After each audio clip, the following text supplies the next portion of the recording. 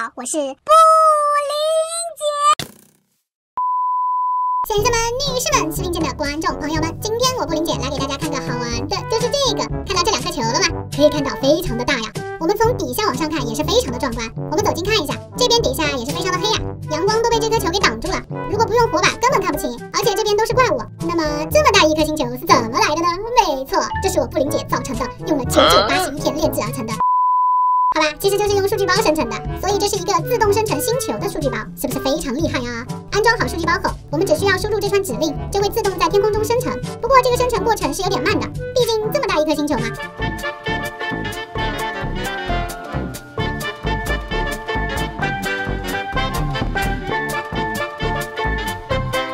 生成好后就和我们之前看到的差不多了，我们上去看看吧，直接飞上去就完事了。这边风景非常棒啊，该有的都有，而且还有一个天然深井，道是通往底下通道的吗？这边居然还有一个矿洞，里面还有苦力怕，下去吧你！我们下去看看，这边都是矿物啊，还有这么多钻石，怎么还有狼？